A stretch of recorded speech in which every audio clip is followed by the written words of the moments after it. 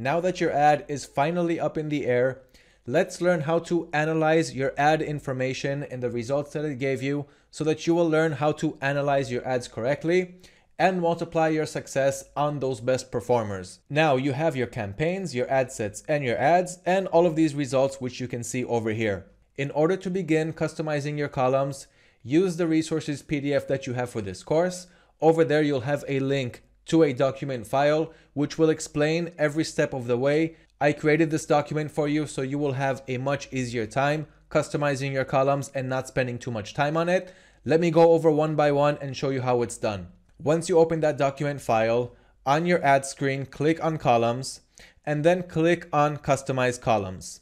Once you're on this screen, use that document file that you have in the resources PDF for this course. And over there, you'll have a list of everything that you need to click in, everything that you need to leave out, and the order that you want everything to show up in to just make your job a whole lot easier. Once you're done customizing your columns according to the document, Click Save as Preset and give your custom columns a name so that you will always be able to choose it when you are seeing the results for your ads. And you can also set it as a default after you give it a name. So that way you'll always be seeing this one first. Now let's go over each column and I will explain the meaning of each one. So you are in your ads and it doesn't matter if you're in the ad or the ad set or the campaign. It's just much easier for me to see the results in the ad section.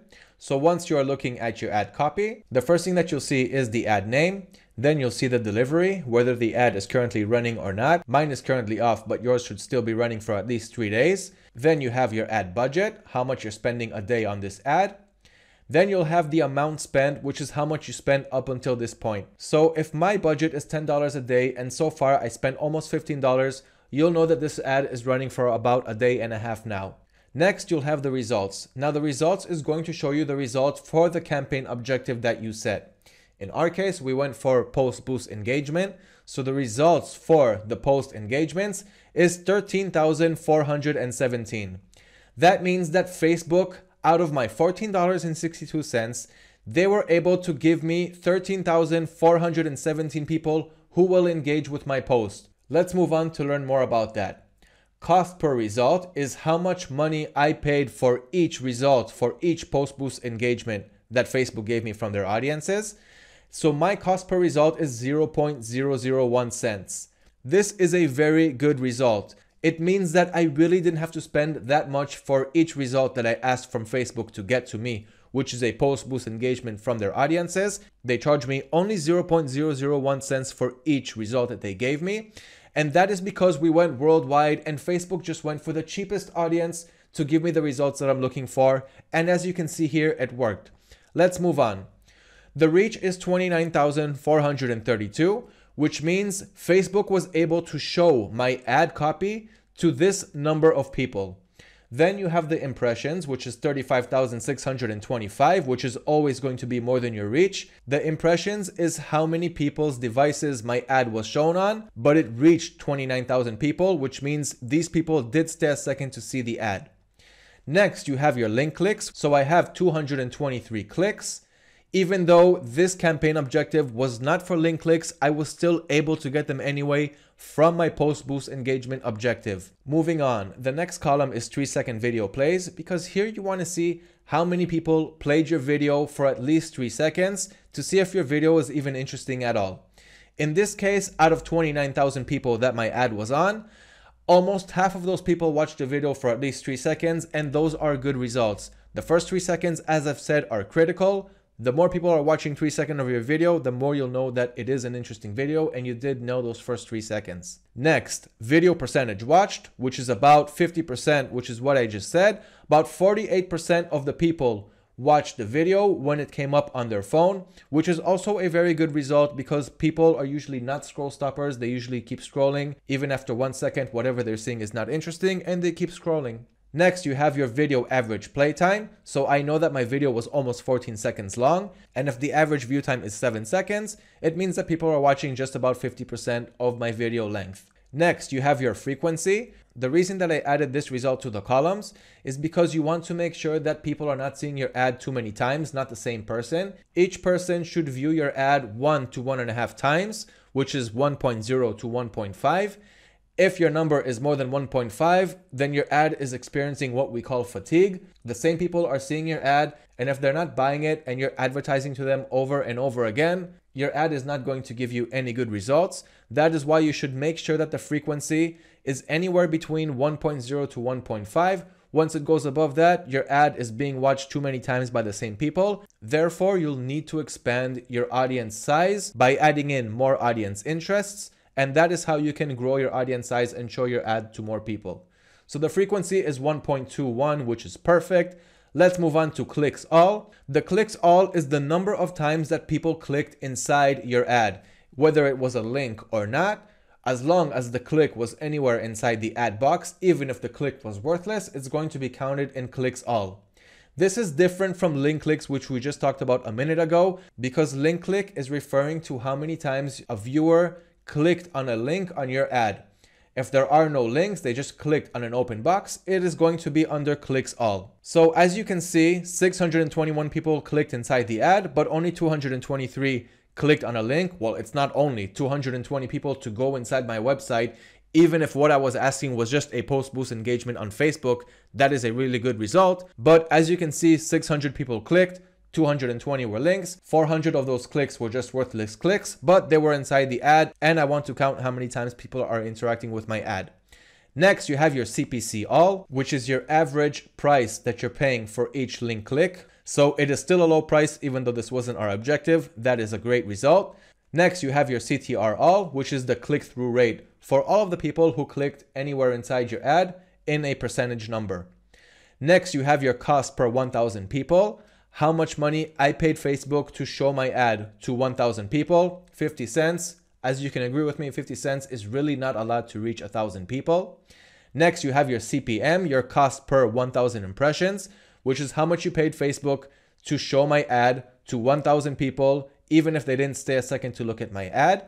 Next, you can see how many people commented and reacted on your post. So this is another form of post engagement that Facebook brought to you from their audiences. Next, you have another form of post engagement to see how many people commented and reacted on your post. But in just about a minute, I'll show you the ad where there you can see the exact posts and the likes and how much engagement it really got. Then you'll have extra perks, which if you got these things, then you'll know that you can move on to purchase campaigns and run another ad to find people to buy your product. So what do we have here? You have your content views, which is a view content, which means how many people went inside my website and viewed a product page. So from this ad, which all I asked from Facebook for is to get me some post engagements, which was great and it made my post viral. That's all I really wanted. But since the product was interesting and the ad was created well, Facebook was also able to give me an audience that will also click on my ad and it also gave me an audience which viewed the content. Now view content is very, very important. So, so far I got 60 view contents and I'll go back to that in just a minute. After that, I also had one add to cart and one checkout initiated, but that person did not go on to purchase. Why? I don't know. I can go and start analyzing that. We also have an abandoned cart campaign which Shopify will send an email to that customer and try to get him back. A few lessons ago, I talked about that and it's already configured inside your Shopify store. But the point here is that we already have enough content views to create a new ad, a conversion ad instead of a post boost engagement objective. The objective for the next campaign is going to be a view content campaign. Why? Because I already have 60 people who viewed my content, which means my Facebook pixel is already starting to get fed. Once you create a new campaign where your objective is going to be view content, Facebook is going to look for an audience that will view your content. Now, I know you're looking for purchases. You're not just looking for someone to view your content. But what you're doing here is you're feeding the Facebook pixel with the right amount of data. Once you start with the post boost engagement, then you move on to view content. Once you do that, you will start getting a lot of results for view contents. Facebook is going to give you audience that will click on your ad and view the content of the product on your website. Once you get a lot of view contents, you'll see that naturally your add to carts will start increasing more and more. And once you'll have 20 add to carts, then you can create an add to cart campaign objective. Once you create an add to cart campaign objective, you will start to see that Facebook is giving you a lot of people that are adding your product to their carts, and some of those people will start to check out and purchase your product. The next step after that is once you get at least 20 purchases, then you can create a purchase campaign. This is usually the most expensive campaign to run, and that is why we had to build it slowly and gradually, starting from post boost engagement. After 20 view contents, we created a view content campaign objective and ran our ads on that. Then once we had 20 add to carts from the view content, we are going to create a add to cart campaign. Once you have 20 purchases from your add to cart campaign, that is when you are going to run a purchase campaign. Now your Facebook pixel at this point will be truly fed with the right audiences that love to add to cart and purchase products from what you are trying to sell and it will keep optimizing itself from there and that is where you are going to start seeing real sales and real profits.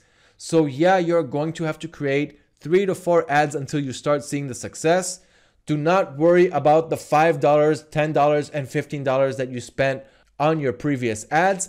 And do not worry if your post boost engagement did not get you any add to carts, but it should get you some content views. If you didn't get at least 20 content views, then your post boost engagement ad probably needs some tweaking. Check out your general audience interests. Check out to see if there are any competitors that are killing your product. Check to see what's going on, why you're not getting those view contents, and if you were not able to find the answer, just find a new product, create a new ad, create a new video for your ad. It's fine. 99% of the dropshippers do not nail it on their first product, and that is fine. The money that you're spending is for your own knowledge. Once you gain enough knowledge, you can use that knowledge to generate lots of sales and profit and run a successful dropshipping business. I know that this was a lot of information, but it's very, very important to learn how to do this step by step. And that is exactly what I've been doing until now. So after a day and a half, this ad worked really well. Let me show you the ad on Facebook. Here's the ad. There's the video that I showed you last lesson. We got 269 reactions for this post, 47 comments, 20 people shared this post, and here you can see the people's comments. So at the end of the day, this was a successful ad and we want to create more. The next ad that I would create in this point, as I've said, is the view content. Once I get 20 add to carts, I'll make an add to cart campaign. Then from that campaign, once I get 20 purchases from that, I'll create a purchase campaign. That is how you build it. That is how you feed the pixel. That is how you analyze your ads and see which ones are working well. Now, if you created three videos for your ads, all you have to do is click on the duplicate button and give it a quick duplicate. Now, since I'm in the ads column, it's going to create another duplicate ad. If you want to change the settings like your audience demographics, audience interests, your daily budget, or any other setting that you had, just create a duplicate for your campaign and edit out whatever you want from there. And this way you'll be able to test which video is the best performer out of the three that you have. And that is one of the best and smartest ways to split test your ads. Ladies and gentlemen, that is all of the best information that I can pass on to you on how to create Facebook ads, make them successful, learn to analyze them, launch the correct ads, and reach the right audience that will go and buy the product from your store. If you have any questions, just let us know and we'll always be happy to help you out. And your assignment for this lesson is to customize the columns in your ads so that you can analyze each column the right way, see the relevant information that you need to see, learn to differentiate between low performers and good performing ads, and use the resources PDF to find that document file that will help you customize each and every one of these columns. Once you do that, see what's working well, see what's not, and make the right tweaks to continue optimizing the process. And I will see you in the next lesson where you will learn how to fulfill the orders that you are getting on your store. See you in the next lesson.